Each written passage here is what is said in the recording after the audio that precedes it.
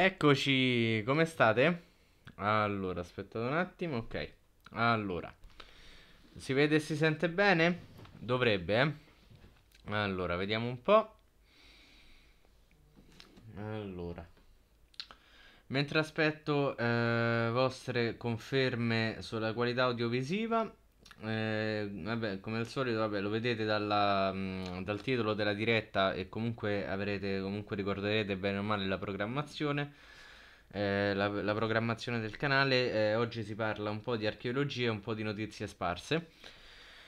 E sì, bene, ok, fantastico. Allora, eh, per quel che riguarda eh, l'archeologia, allora a questo punto eh, comincerei subito. E prima notizia di oggi, eh, siamo ai Castelli Romani e più precisamente all'incrocio tra Via Tuscolana e Via Tuscolo del comune di Grottaferrata, ente a Roma. E questo perché eh, durante i lavori per l'estensione della rete del gas eh, del comune è riaffiorata l'antica Via Latina, eh, rinvenuta in perfette con- condizioni di conservazione. La scoperta è stata annunciata dalla Sovrintendenza ai beni archeologici dell'area metropolitana di Roma. A commentare la notizia, eh, è anche, è la notizia, eh, commentare la notizia la dottoressa Gabriella Serio, ovvero archeologa della sovrintendenza, che ha dichiarato quanto segue. Appartiene, molto probabilmente, all'antica Via Latina. Il tratto è costituito da una carreggiata di circa 4 metri e mezzo e presenta sia a nord che a sud dei cosiddetti vespai, ovvero un sistema utilizzato all'epoca per far defluire l'acqua. Lungo il lato sud sono stati inoltre ritrovati almeno eh, due filari di blocchi di peperino grigio-verde, tipico dell'area dei colli albani, che saranno meglio indagati per comprenderne la, appieno l'utilizzo.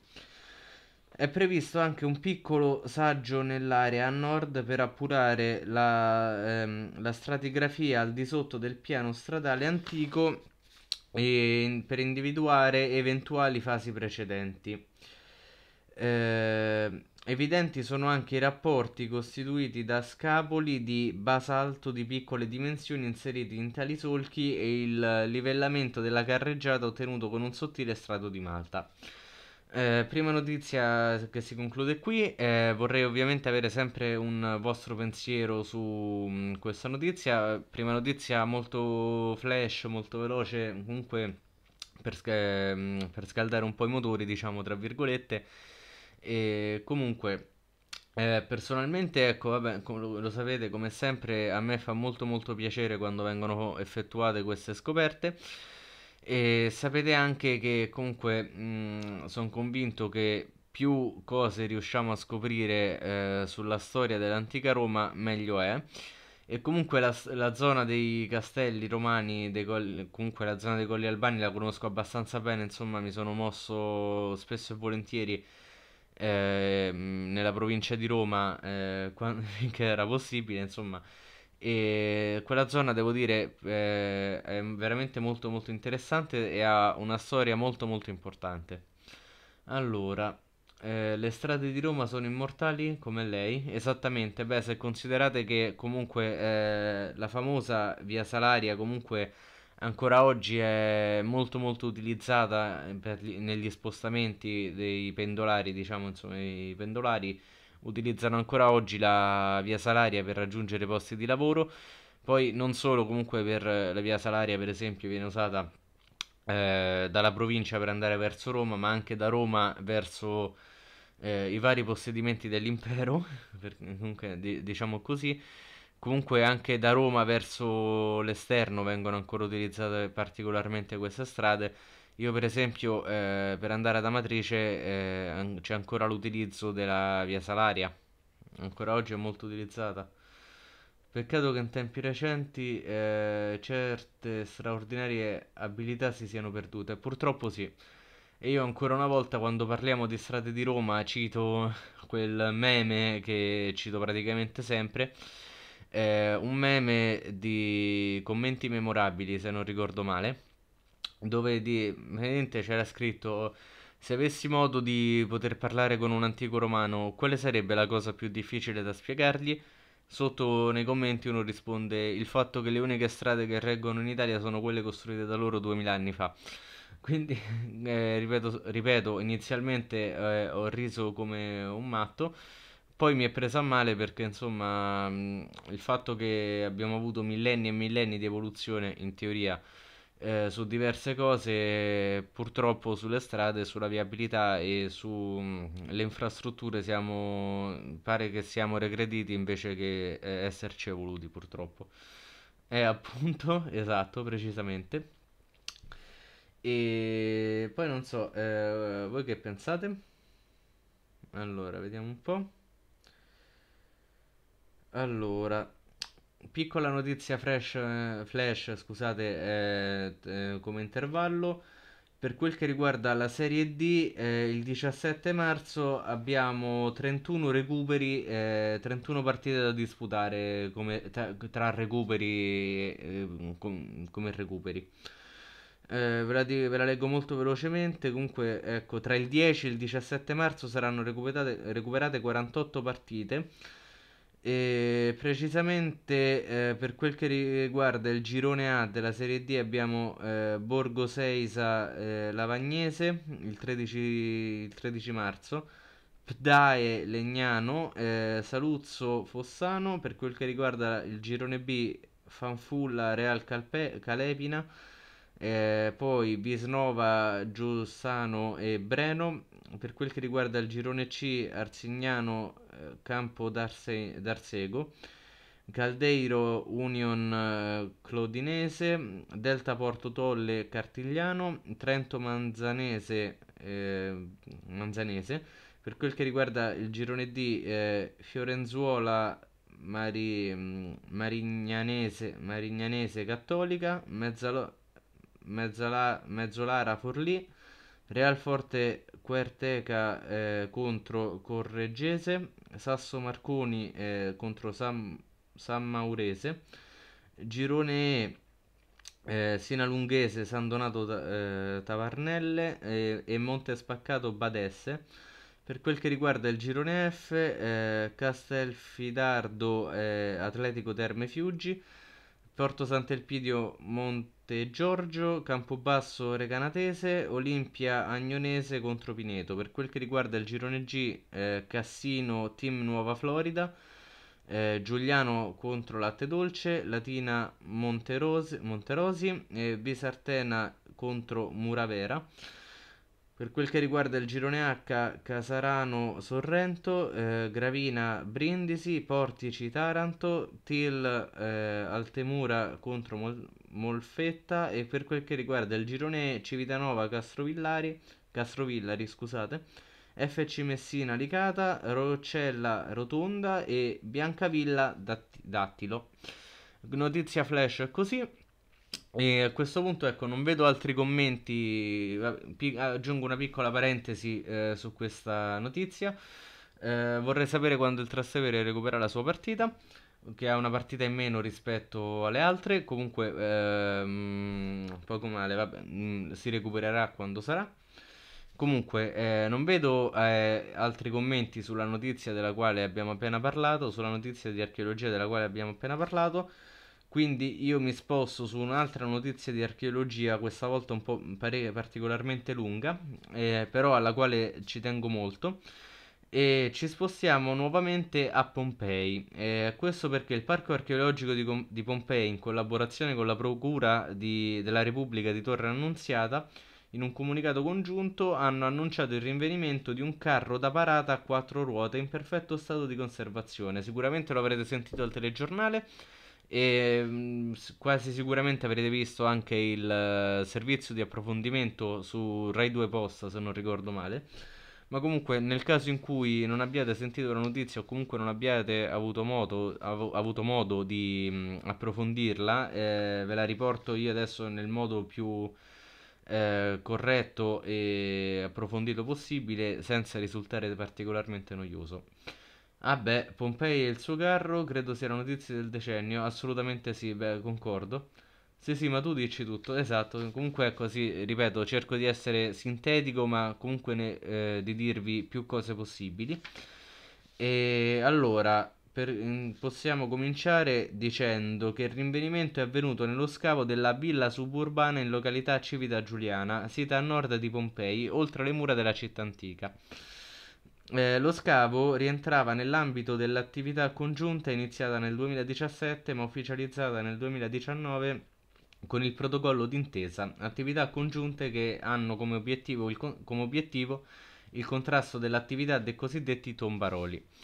Eh, tornando alla scoperta, di un, eh, parliamo di un carro cerimoniale a quattro ruote con tratti in ferro e decorazioni in bronzo e stagno. Eh, sono stati rinvenuti anche dei resti lignei eh, mineralizzati e delle impronte di elementi organici quali corde eh, a resti di decorazioni vegetali, eh, appartenenti sempre al carro ovviamente.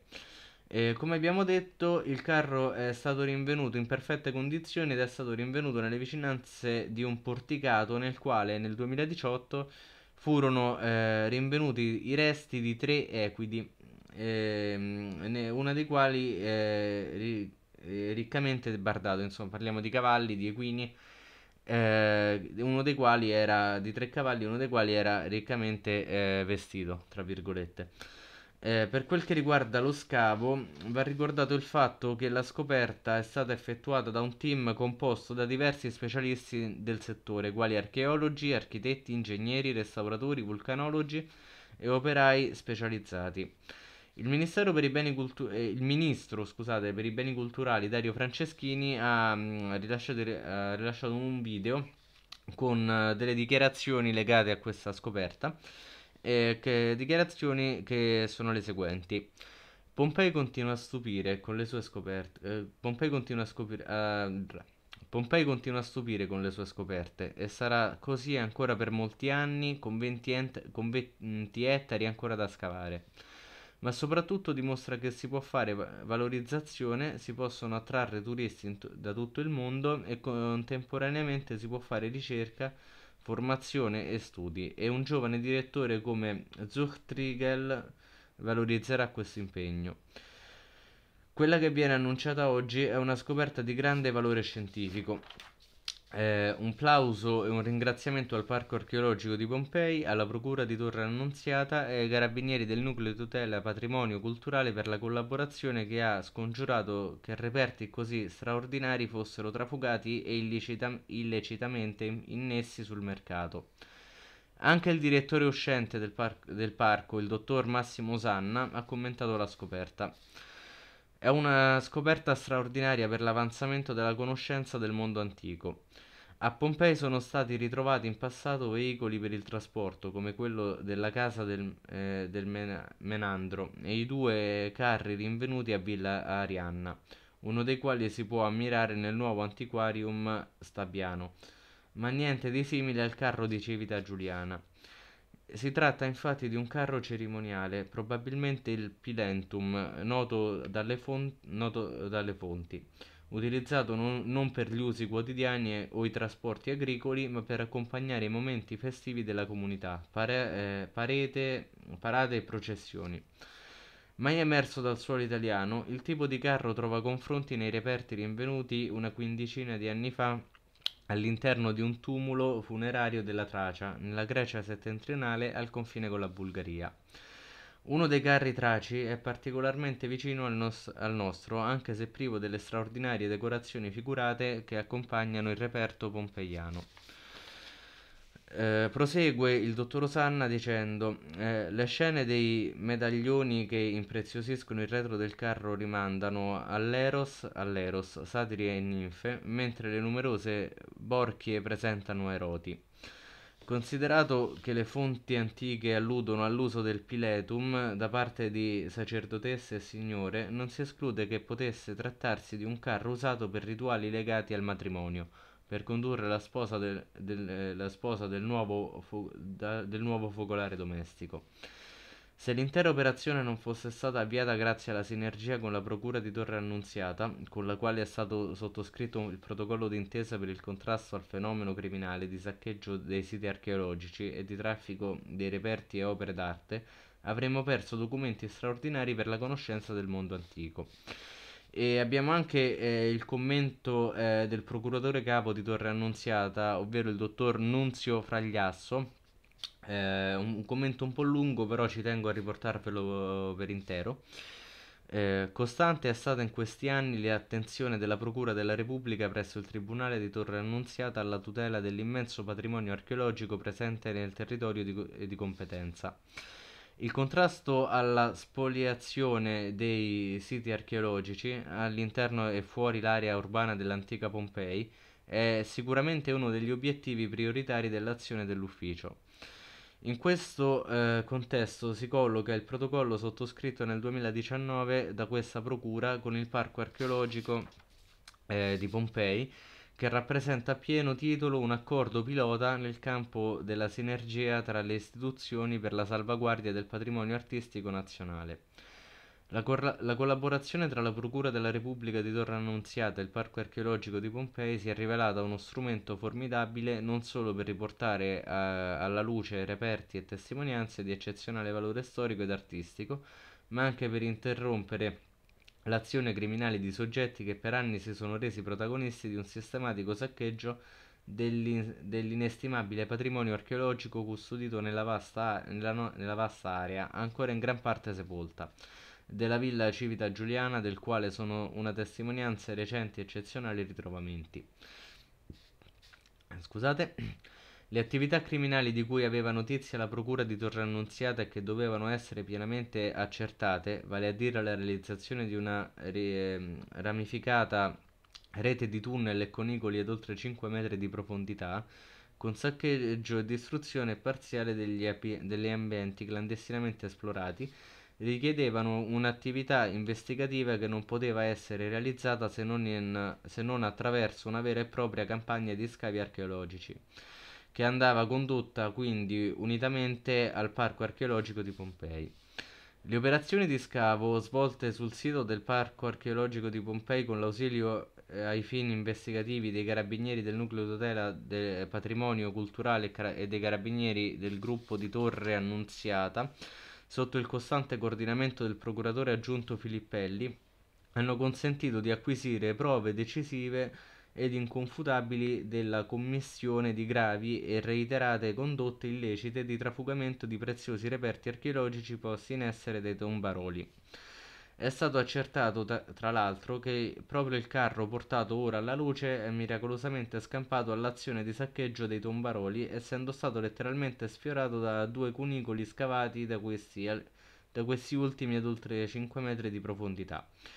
Proprio in questi giorni è in corso, è in corso di svolgimento davanti al Tribunale di Torre Annunziata il processo penale a carico di due imputati ritenuti gli artefici materiali di tale attività criminale, la cui abitazione tuttora insiste sul sito dell'antica villa romana depreda- depredata. Le indagini hanno consentito di accertare che proprio dalla proprietà dei due imputati si diramava una rete di cunicoli di oltre 80 metri utilizzata per il sistematico saccheggio dell'area archeologica. Anche nei prossimi anni l'impegno di questo ufficio nella tutela del patrimonio artistico, archeologico e culturale del territorio sarà costante e prioritario, riservando una particolare attenzione all'attività finalizzata al recupero dei preziosi reperti archeologici eh, trafugati esportati, al, esportati, all'estero e alla loro restituzione al patrimonio nazionale. Eh, allora, ehm, questo è quanto. Allora, queste erano le notizie che mi ero segnato per oggi. In realtà ne avevo anche altre. Però, eh, visto comunque eh, la lunghezza della scoperta di Pompei, comunque me ne sono tenute alcune notizie per, ehm, per la prossima live e anche perché oggi abbiamo anche altri, mh, altre notizie delle quali parlare molto veloci. Allora, allora, commento un po' lungo. Allora, purtroppo il tema degli scavi clandestini è frequentissimo, non solo a Pompei. L'Italia è tutta così, piena di cose sepolte dal tempo. Ci vorrebbe un metodo sistematico per riservare il problema Bisognerebbe aumentare notevolmente il numero di professionisti, formare una rete nazionale che consenta una programmazione conti- continua di scavi e messa in sicurezza dei siti.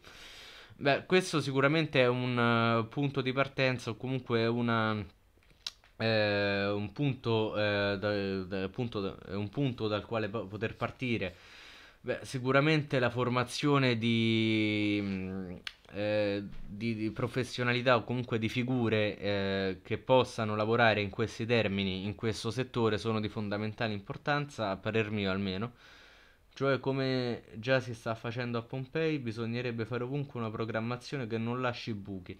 Beh, sì, questo qui è un buon punto di partenza, a parer mio, quello che hai, mm, quello che hai detto prima.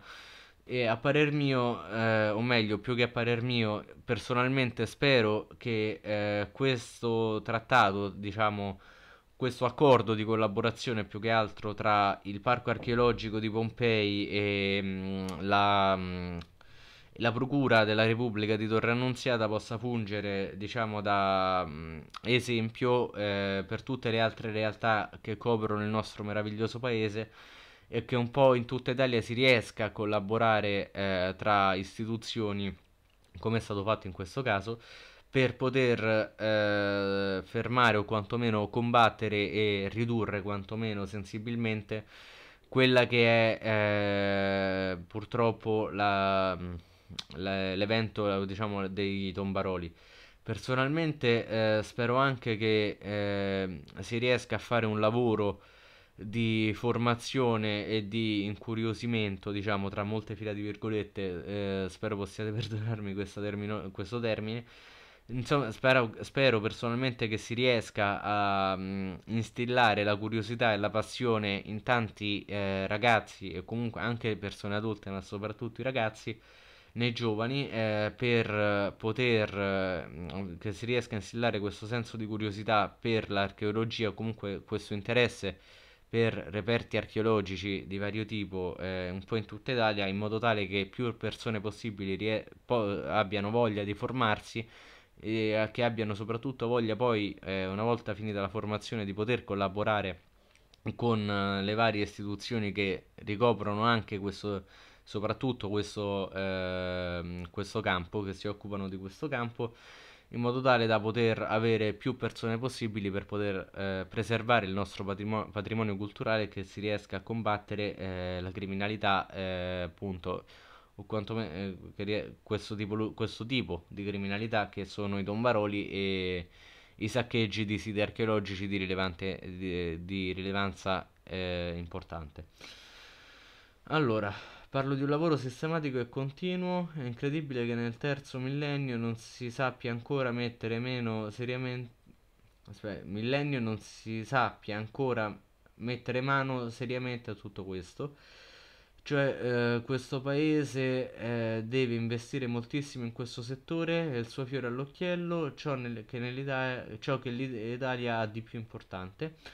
Ci sono laureati in questo settore che stanno lavorando in altri ambiti perché non trovano lavoro nel settore, mi sembra assurdo.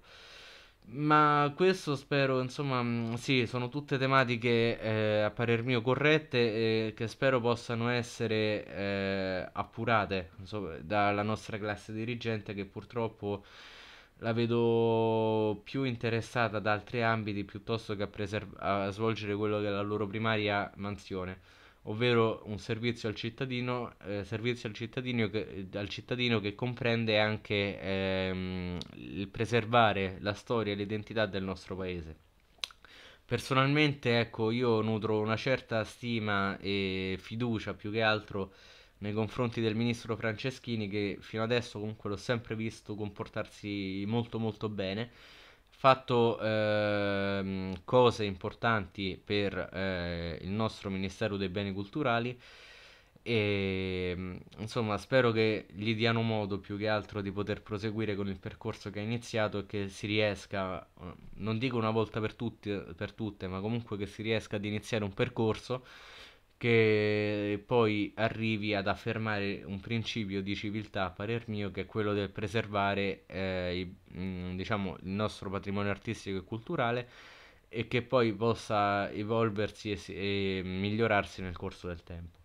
Quello che dicevi prima, ehm, inerente alla, mh, mm, eh, al fiore all'occhiello dell'Italia, eh, te lo confermo perché la, prof- la mia professoressa di storia dell'arte al liceo mi diceva sempre che l'Italia ha all'incirca il 60% del patrimonio culturale mondiale.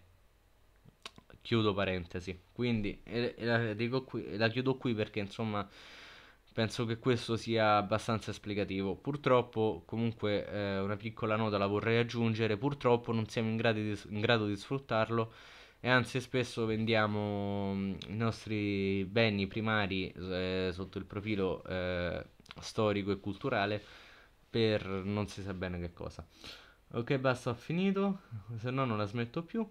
Beh, dai, ma a me interessa soprattutto poter avere una discussione cia- eh, nella chat, però mh, mm, poi insomma, anzi, mi fa molto piacere se si riesce ad avere un confronto in chat, figurati. Però vorrei dire un'altra cosa, speravo in un lavoro serio di Franceschini, aveva iniziato bene, invece ora si è dovuto arrendere al fatto che il turismo sia staccato dai beni culturali e questo non dipende molto da lui, ma anche la nuova dicitura MIC non mi piace per niente e qui invece dipende da lui.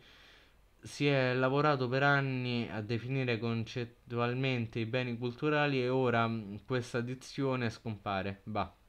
Guarda, sulla dicitura del mic eh, non è una... Mm, eh, purtroppo non ho approfondito molto eh, la questione del cambio di denominazione, quindi non mi esprimo per... Eh, più che altro per non eh, mettere bocca su un uh, settore che non conosco e che ho studiato poco, mm, per evitare di dire sciocchezze non mi impiccio.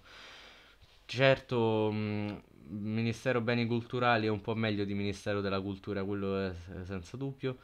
Cioè il turismo va per sua natura insieme ai beni culturali, che senso ha togliere il turismo eh, da questo ministero è scandaloso. Ecco, su questa, eh, su questa tematica sono pienamente d'accordo. Eh, quello purtroppo in realtà credo... Ehm, che si sia trattato di una decisione politica per poter eh, sistemare più ministri possibili eh, dagli, dagli, attuali governanti. Cultura al posto di beni culturali in Italia? Boh, non ho, cap- non ho parole. No, in quel senso è così, eh, sono pienamente, allora, sono pienamente da- d'accordo sul fatto che eh, staccare il ministero, eh, cioè o meglio, staccare il turismo dai beni culturali sia una delle cose più folli che abbiano potuto fare i nostri attuali, o meglio, i nostri governanti in generale. Eh, perché eh, se tu non basi il turismo sui beni culturali, su cosa lo basi? Sul mare? Il mare ce l'hanno tutti, ma i beni culturali che abbiamo noi non li ha nessuno, quindi sempre perché la politica prende il sopravvento sulla logica delle cose e così non andiamo da nessuna parte. Beh, esatto, il problema è proprio quello magari per fare l'ennesimo rimpasto di governo hanno staccato il turismo dai beni culturali per piazzare più gente per, poter, per poter creare una nuova maggioranza. A me questa cosa personalmente fa abbastanza ribrezzo, devo essere sincero. La trovo disdicevole e così come eh, trovo disdicevole anche il fatto di aver creato un ministero per il sud Ecco, questa è una tematica che in realtà non ho mai affrontato, ma personalmente, come si dice qui a Roma, mi si attappa la vena. Comunque no, mi ribolle il sangue su questa cosa. Bonisoli aveva tolto il turismo, Franceschini lo aveva rimesso e aveva fatto bene. E adesso torniamo indietro invece di andare avanti. Ecco, questo sì, sì, ripeto, almeno a parer mio, eh, è un, è una soluzione che si è trovata per poter piazzare più gente possibile. Eh, così come presumo sia, fa- sia, stato fatto con la creazione del Ministero per il Sud. Eh, questa è una cosa che voglio dire perché insomma sapete che al Sud sono particolarmente legato, quindi eh, ci tenevo a dire questa cosa. Personalmente quando è stato istituito eh, il Ministero per il Sud, se non ricordo male, eh, con il governo Lega 5 Stelle, se non ricordo male, eh, personalmente ricordo che a me eh, prese male, prese molto male perché eh, ho, ho, avuto due eh, metodi di lettura di questa cosa. O un'ammissione molto sottile del fatto che dal 1861 ad oggi del Sud Italia ce, ne, ehm, ce ne siamo infischiati, diciamo, il governo è, se ne è fregato del Sud Italia dall'unità fino ad oggi, oppure eh, che è una cosa che personalmente mi dà fastidio, così come mi avrebbe dato fastidio per qualsiasi altra zona d'Italia, a dire la verità, e eh, non solo per il sud. Quindi ecco, mh, mm, diciamo mi avrebbe dato eh, fastidio a prescindere se fosse stato questo l'intento. Così come, oppure l'altra lettura che io ho dato alla creazione di questo eh, ministero è stato quello di eh, quello che abbiamo detto adesso, ovvero eh, del distaccamento con il turismo, che è quello di piazzare più gente possibile per eh, creare ehm, il governo e avere eh, stabilità eh, con i voti ca- alla Camera e al Senato, che è altrettanto disdicevole e deplorevole ehm, quanto eh, la soluzione precedente, a parer mio. E Bonisoli aveva tolto il turismo, l'avevamo letto, Franceschini l'aveva rimesso. Sì, eh, Franceschini, ripeto, spero eh, possa trovare delle soluzioni per poter quantomeno mantenersi eh, su quello che ha fatto finora. Infatti, anche avere un ministero per il sud è, se- è secondo me sbagliato perché è un modo per ghettizzare il meraviglioso sud, io la vedo così, anche sì, questa è un'altra chiave di lettura alla quale in realtà non avevo pensato.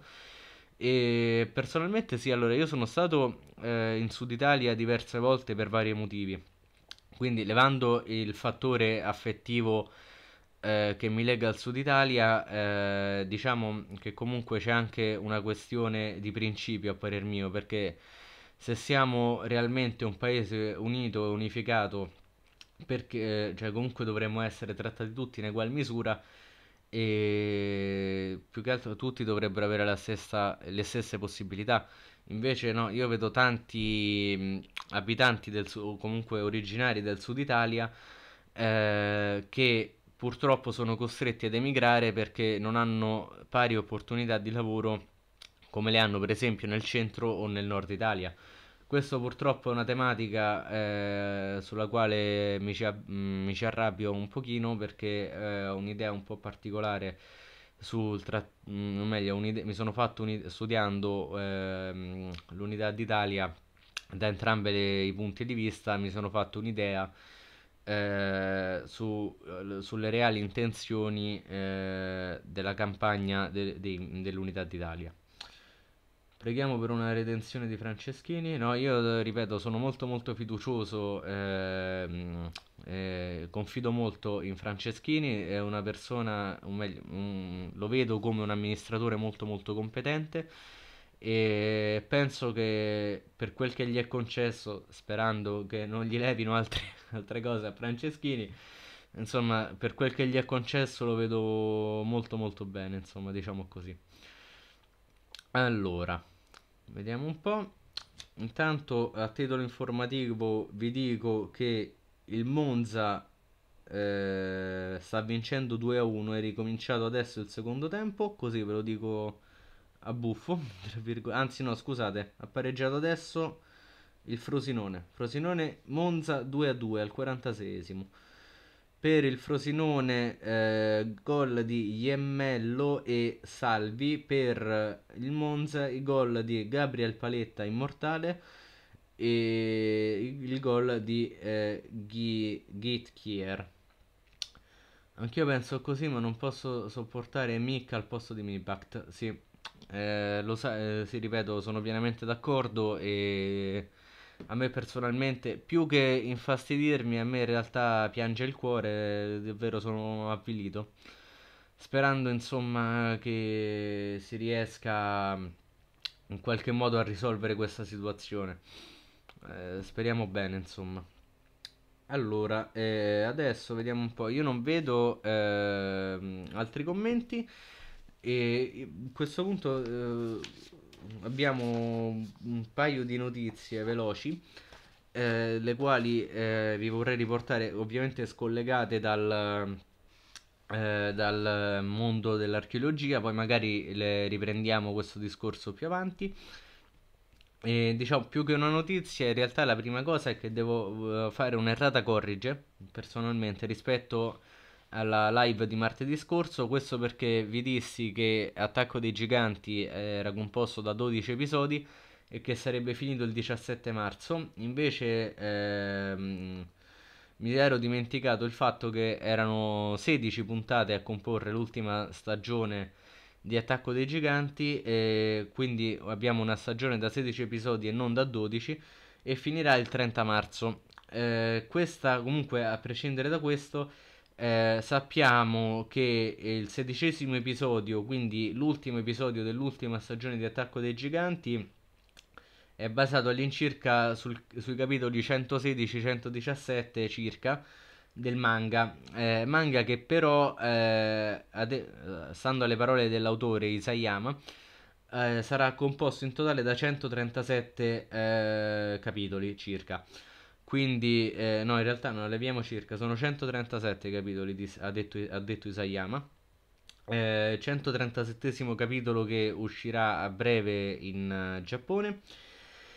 E questa idea, quindi questo fattore rafforza l'idea che eh, dal capitolo 118 circa, eh, sempre circa, eh, molto approssimativo a dire la verità, fino al capitolo 137, quindi quella ventina di capitoli circa che restano fuori dalla serie animata, eh, è rafforzata l'ipotesi di un lungometraggio animato eh, che andrà a concludere le, la storia animata.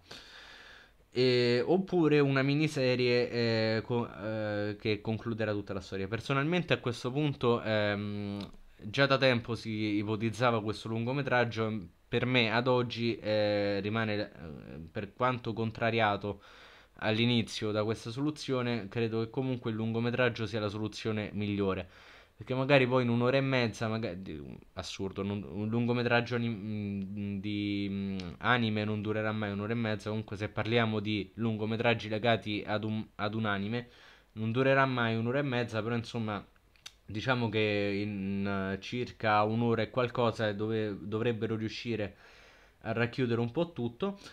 E ricordiamo, ricordiamo inoltre che ehm, non è stata resa nota comunque la pubblicazione dell'ultimo capitolo in Giappone, però comunque parliamo di poco perché poi eh, l'ultimo, il capitolo 134 se non ricordo male è uscito da poco in Giappone, quindi siamo in via di conclusione della storia, sia cartacea che animata. Non so se eh, volete in realtà esprimervi su questa cosa del tacco dei giganti, eh, sperando che, di essere stato in realtà eh, il più chiaro possibile con questa notizia. E nel mentre che aspetto eh, una notizia, ehm, che in realtà erano un paio di notizie, a dire la verità, ma sono in realtà accorpate questo perché, eh, come avrete sicuramente avuto modo di, mh, di sentire in questi giorni, c'è stata molta polemica perché il consiglio d'amministrazione eh, della S Roma ha dichiarato che il progetto dello stadio a Tor di Valle non è più di proprio interesse, per quanto sia stato affermato che comunque l'area di Tor di Valle rimane la prima scelta dei Fritkin per l'edificazione del nuovo stadio. Eh, dopo questo annuncio, il Comune di Roma ha affermato che questa scelta eh, presa dalla società giallorossa è una scelta imprenditoriale, ovviamente, mm, ma mi sembra anche chiaro, insomma. Eh, eh, l'ex presidente giallorosso eh, James Pallotta, eh, con definizioni in realtà anche molto colorite, ha attaccato chi ha sempre remato contro il progetto stadio mentre De- l'ex capitano della Roma Daniele De Rossi ha affermato che, eh, si- che sia un peccato che quel progetto sia naufragato. Eh, legato a questa notizia, in realtà è una. Mh, mm, più che una notizia, sì, un, parliamo di una notizia annessa a, questa, mh, mm, a questo mh, pandemonio che è scoppiato nella capitale il presidente del Trastevere Calcio eh, Pierluigi Betturri ha scritto una mh, mm, lettera aperta eh, alla mh, mm, presidenza della Roma. Eh, lettera aperta che ehm, nella quale ve la faccio breve, insomma. Eh, il presidente del Trastevere Calcio Pierluigi Betturri eh, ha scritto una lettera aperta a Dan e Ryan Fritkin per un'eventuale collaborazione eh, tra eh, la S Roma e la SD Trastevere Calcio per eh, la riqualificazione dello, um, dello stadio Flaminio. Quindi, eh, insomma, ci potrebbe essere questa ipotesi e personalmente io già mi sto sognando, già mi immagino sugli spalti, de- se così, no, nutro delle diciamo delle remore sul fatto che eh, si potrà fare, però insomma eh, una piccola parte di me insomma spera che possa nascere questa collaborazione tra eh, le due delle squadre di Roma, due delle tre squadre di Roma più importanti almeno, possa esserci questa collaborazione per eh, la riqualificazione di uno stadio molto molto importante non solo della capitale ma dello sport italiano in generale a parer mio e che insomma il Trastevere riesca ad andare a giocare il Trastevere Calcio possa andare a giocare in uno stadio che soprattutto per i romani ha una, un'importanza molto molto grande e non so eh, se tra gli spettatori eh, c'è qualche appassionato di calcio eh, che abbia intenzione in realtà di esprimersi sulla cosa. E eh, mentre aspetto i eh, vostri eventuali commenti, vado a vedere se ci sono eh, notizie di particolare interesse. intanto, ecco, tornando un attimo all'attacco dei giganti, vi ricordo che ehm, con eh, l'attacco dei giganti, la quarta stagione, vi ricordo che è disponibile su Amazon Prime Video mh, mm, per il momento. Poi su eventuali aggiornamenti di programmazione o comunque di upload su altre eh, piattaforme, ovviamente vi terrò informato.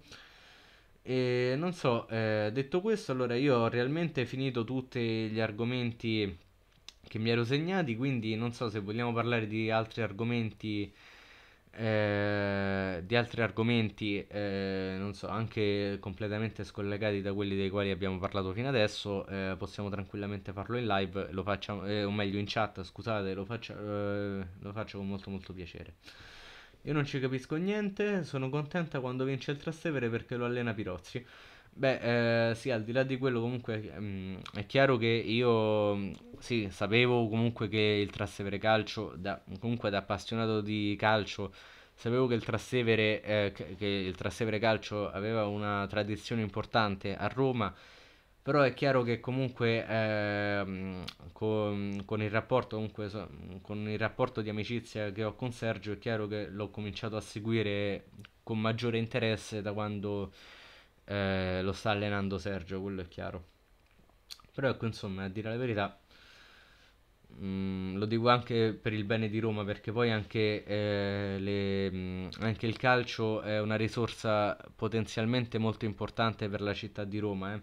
così un po' come un po' per tutte le città, come per Milano con l'Inter e il Milan, come, eh, come il Sassuolo per eh, per, per il, comunque giù a Sassuolo, così come era per il Bari con, con il Bari per la Puglia, insomma così insomma, e, via dicendo, così come era con il Catania per la Sicilia, insomma eh, il calcio è potenzialmente una, um, un punto di interesse maggiore, comunque è un punto che può, un fattore che può portare maggiore eh, turismo alle, nelle, nelle, nelle, nostre città perché per esempio è chiaro che eh, quando le squadre italiane vanno a giocare all'estero, per esempio nelle coppe europee, che sia ESA Champions Europa cambia poco, comunque ci sono dei tifosi eh, che seguono la squadra in trasferta, quindi quei tifosi poi prendono l'albergo, vanno a cena fuori, una birra con gli amici, cioè una birra dopo cena, insomma, via dicendo. Comunque eh, è una piccola parte di economia che comunque gira. Per esempio, ricordo quando la Sampdoria, eh, no, era la Sampdoria, sì, quando la Sampdoria si arrivò in Europa League, comunque per la città di Genova fu molto importante perché poi per quelle pochissime partite, a dire la verità, nelle quali la Sampdoria giocò in Europa League, comunque girò un po' più di gente a Genova, quindi eh, girando un po' più di gente è chiaro che girava anche un, un pochino di più l'economia. Stesso discorso con il Parma che però non giocò mai l'Europa League perché eh, purtroppo quel, quell'anno poi, quell'anno che raggiunse il quinto posto, purtroppo la società andò fallì, quindi insomma, però diciamo che di base il calcio è un punto in, in più a favore del turismo, quello senza dubbio. Poi comunque fa girare sicuramente economia perché poi eh, anche per, non, per, partite non europee, ma anche casalinghe o in trasferta, comunque qualche tifoso gira sempre a seguire la squadra, quindi un minimo di economia la sposta sempre anche il calcio. Insomma, speriamo bene, dai. Tutto questo sermone per dire, insomma, che spero che il Trastevere possa raggiungere, cioè possa giocare al Flaminio, per riqualificare anche una parte importante della città di Roma, sotto il profilo sportivo ovviamente. Comunque, allora, non so, eh, ripeto, eh, se abbiamo eh, altri argomenti dei quali vogliamo parlare, eh, lo facciamo tranquillamente nei commenti, senza problemi. E, oppure ci diamo appuntamento a giovedì con... eh, no, allora oggi è martedì. Sì, giovedì con la lettura di latinoamericana. Ditemi voi, eh. Ovviamente eh, aspetto sempre, mi confro- mi conf- ci confrontiamo ovviamente su, sul da farsi. Allora, nel mentre che aspetto vostri, mh, vostri diciamo, eh, insomma, vostre conferme o comunque vostri, vostre indicazioni, eh, vediamo se ci sono altri commenti, eh, dico, altre notizie di particolare interesse. E allora, vediamo un po'.